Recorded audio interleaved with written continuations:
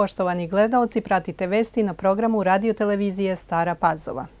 Predsjednik vlade Srbije Aleksandar Vučić razgovarao je danas sa ambasadorom Ujedinjenih Arabskih Emirata u Srbiji Džumom Rašidom Sejf Zajdenom Al-Daherijem koji je premijeru uručio poziv šejka Mohameda bin Rašida Al-Maktuma, podpredsjednika i premijera Ujedinjenih Arabskih Emirata i vladara Dubajija za predstavljanje Srbije na svetskoj izložbi Expo 2020 u Dubajiju.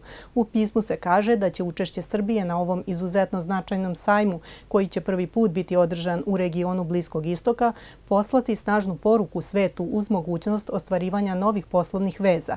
Premijer Vučić i ambasador Aed Al-Daheri su razgovarali o daljoj saradnji i unapređenju bilateralnih odnosa dveju država. Ministar pravde Nikola Selaković rekao je da jedino što očekuje povodom otvaranja prvih pregovaračkih poglavlja jeste da će neko umeti da ceni ono što je Srbija uradila na tom planu, a uradila je mnogo.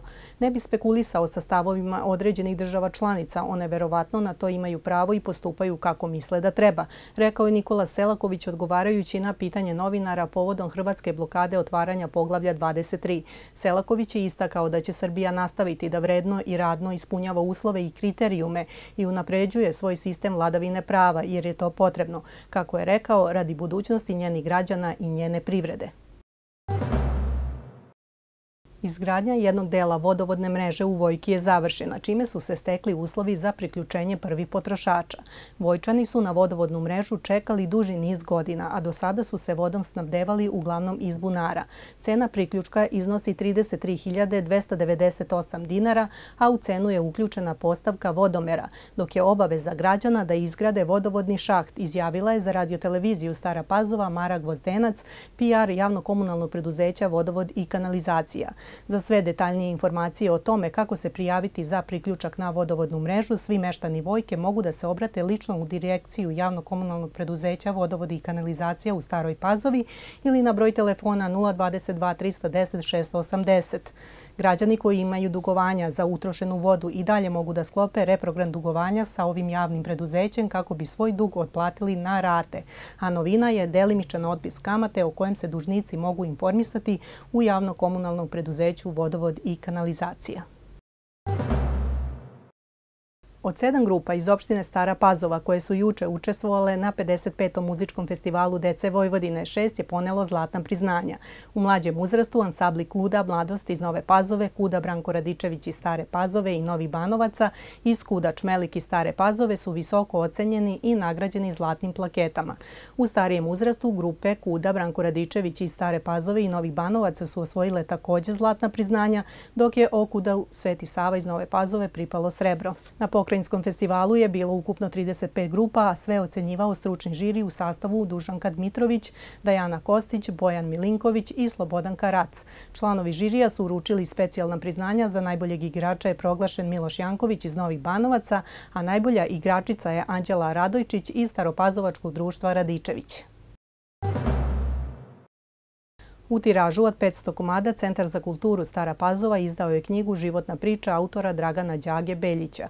U pitanju je prva zbirka pesama ovog golubinčanina koji piše već godinama, a bavi se i muzikom. Neke od njegovih pesama nalaze se na dva CD-a koje je snimio u sobstvenoj obradi i muzički i glasovno uz pratnju orkestra Marka Nenadovića Baćana i trenutno je u pripremi treći. Na promociji u holu pozorišta u Staroj Pazovi brojna publika je mogla da čuje stihove koje je kazivao recitator i glumac Milan Dudić, a autor je predstavio i neke muzički obrađene pesme.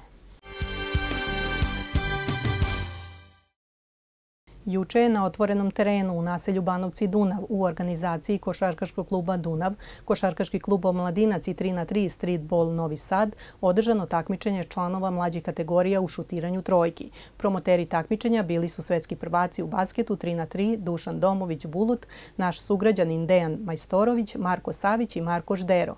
Pobednik u šutiranju trojki je Nikola Crnomarković koji se u finalu sastao sa Filipom Turčinovićem.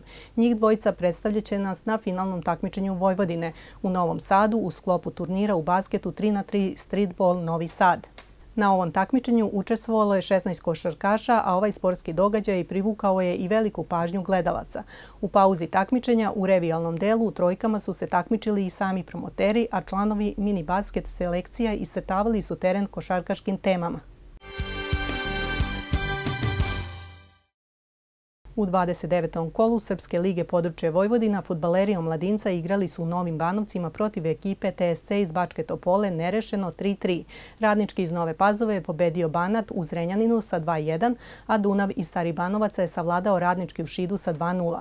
U 29. kolu Novosadsko-Sremske lige jedinstvo iz Stare Pazove je u Gložanu pobedilo budućnost sa 2-0, a Sremac i Veternik su u Vojki igrali 4-4.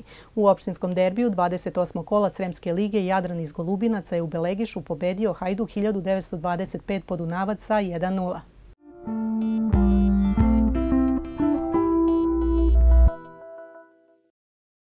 Vreme će sutra biti pretežno sunčano i toplo, duvaće slab vetar zapadnih pravaca. Minimalna temperatura 15, a najviša dnevna 27 stepeni Celzijusa.